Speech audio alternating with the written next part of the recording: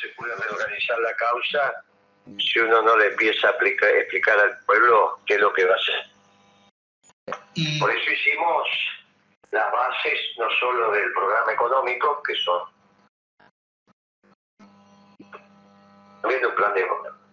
Saben qué es lo que vamos a hacer con nuestra Argentina cuando volvamos a, si Dios quiere, a administrar la cosa pública según nuestra doctrina para tender al bien común.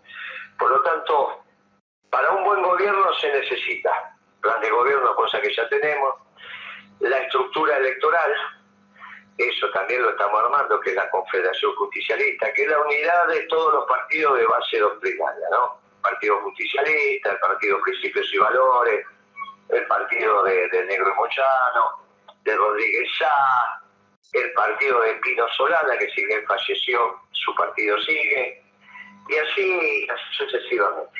Y después organizar el peronismo, bueno, eso también lo estamos organizando con las siete ramas, las cuatro históricas, las mujeres, los jóvenes, la política y la sindical. Y ahora, como estamos frente a un gobierno que hostiga al capital, también la rama empresarial, la de los movimientos sociales y los técnicos y profesionales, porque hay que volver a cultivar el conocimiento. Entonces estamos en condiciones de, volver al gobierno. Eh, Moreno, este, ¿cómo le va en esto? Porque como se sabe el peronismo tiene muchísimas variantes, usted termina de mencionarlas y este, no es tan sencillo. ¿Cómo anda todo eso? Mira, nosotros estamos muy conformes. Le estamos ofreciendo al pueblo de la patria volver a construir una gesta que es la reindustrialización de la Argentina. Desde que el peronismo se formó como tal, el mundo no transitó por el carril del nacionalismo y ahora el mundo vuelve al nacionalismo. Eh, usted sabe que de alguna manera esta confrontación entre los globalizadores y el nacionalismo la está ganando el nacionalismo. Y el peronismo es el nacionalismo americano, nacionalismo de brazos abiertos, no de puños cerrados como el europeo, de pueblos donde se integran distintas comunidades. Es un nacionalismo que ama a otros pueblos, no que destruye a otros pueblos. Es un nacionalismo que construye puentes, no que levanta muros. Bueno, ese nacionalismo, que tiene una doctrina bien clara en el peronismo, es el que debe triunfar en el mundo. Y para eso precisamos tener un país que sea un ejemplo de buen gobierno. Bueno, eso es lo que le estamos planteando desde el peronismo al conjunto del pueblo argentino pareciera que en nuestro país con este gobierno va en contra precisamente de lo que se aspira que sea el mundo, ¿no? Está exactamente en dirección contraria. Este muchacho Milei es un globalizador extremo y, y nosotros, el mundo va al nacionalismo, igual que nosotros. Es, ahora, para el peronismo esto es una gloria, porque es la primera vez que no vamos a tener el mundo en contra. Usted imagínese que el peronismo nace después de la Segunda Guerra Mundial, cuando estaban los dos imperios y no teníamos nada que ver ni con los yanquis ni con los marxistas.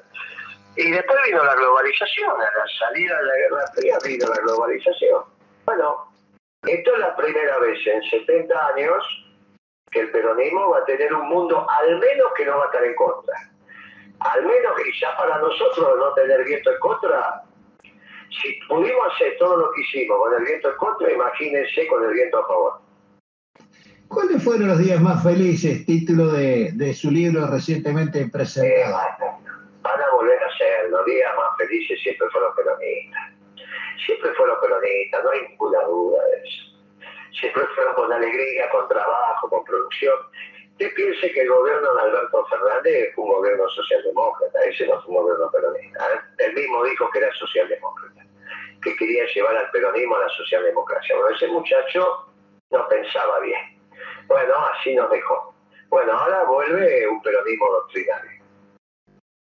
Eh, Moreno, eh, sí, eh, hace un, par de días se cumplieron 50 años del fallecimiento de Juan Domingo Perón y yo me planteaba, entre otras cosas, qué hubiese pasado si Perón se despierta y ve lo que quedó de eh, lo que él proyectó y fundamentalmente cómo, cómo transitó el peronismo estos últimos años. ¿Qué diría el propio Perón? Y bueno, si, lo veía Alberto Fernández iba a enojar. Si ve cómo el peronismo ahora se está rearmando, llega a ver el acto en Colón que vamos a hacer, escuchamos que con los compañeros, dice, vos, y entiende el mundo como lo está entendiendo, y dice, bueno, al final tenía razón Porque tú imagínese que él, encontró una doctrina nacionalista en el seno de este pueblo cuando, en plena Guerra Fría, ¿no?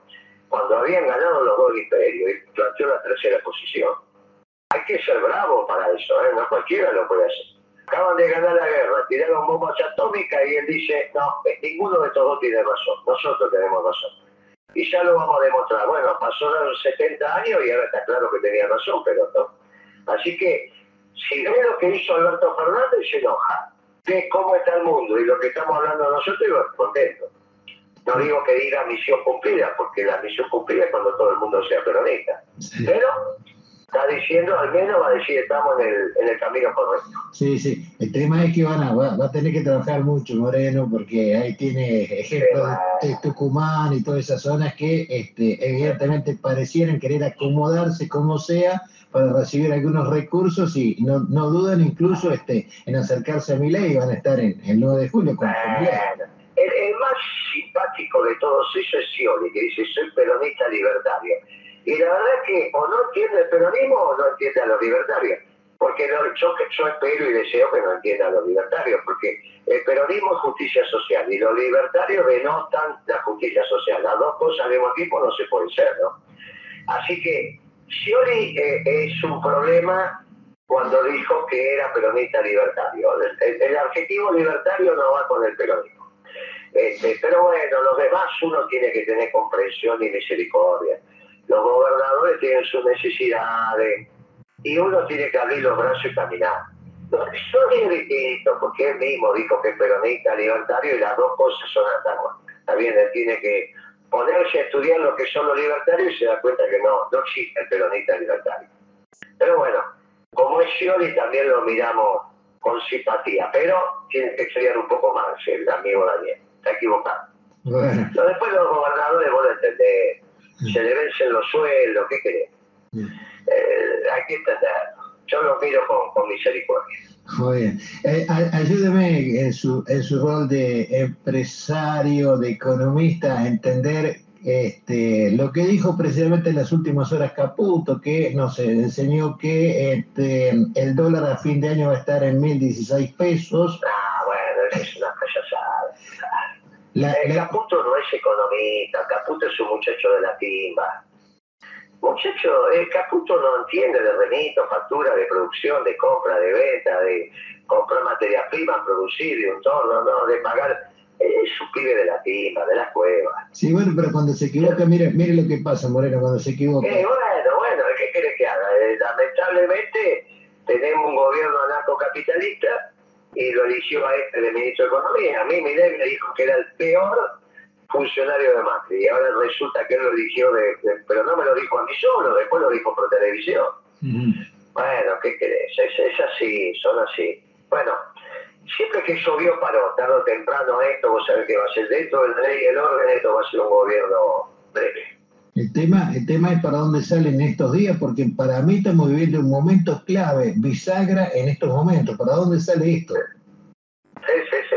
Bueno, esto vamos a ver, vamos a ver cómo se, se va ordenando, pero tranquilo, que siempre que llovió paró y esto se va a armar un esquema importante. El Fondo Monetario está planteando una salida que está mal. La, la sociedad rural con expert también está planteando una salida que está mal. Eh, vamos a ver qué hace la señora Villarruel me parece que ella también quiere, se da cuenta que esto está mal y está planteando un esquema de salida, después viene el peronismo.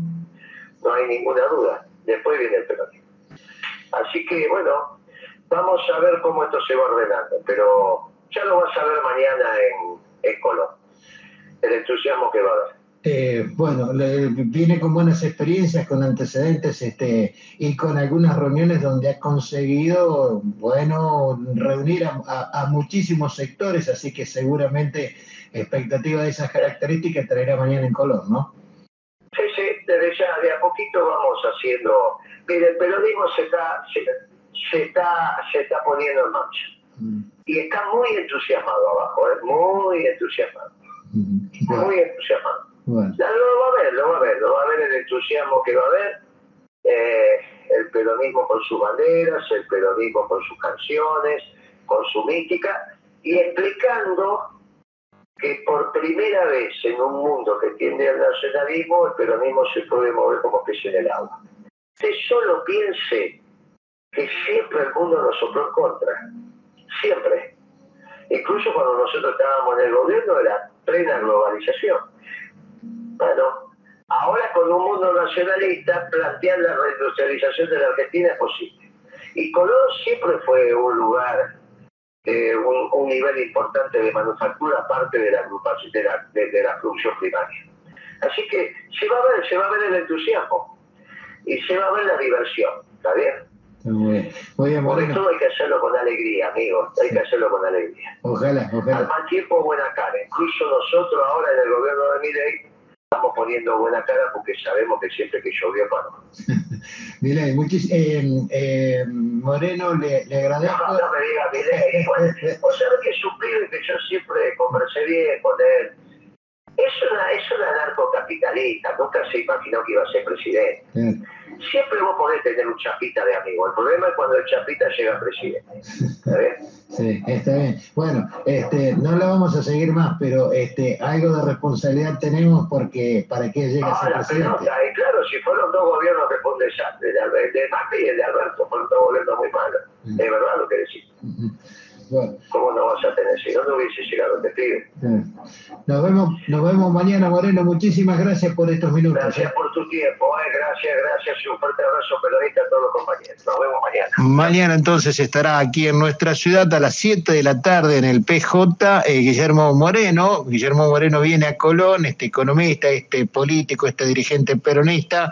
Estará a las 6 de la tarde haciendo una conferencia. Es, eso es para exclusivamente para para el periodismo, no vayan. Este, y después sí, a las 7 de la tarde en la sede del Partido Justicialista es para todos. ¿eh? Ahí estará Guillermo Moreno hablando con este, los vecinos y, y bueno, con el optimismo que precisamente tiene en sus palabras y que no es nuevo en él, este, bueno, nos dirá que tal vez, como lo dijo recién, algunas cosas van a cambiar a futuro.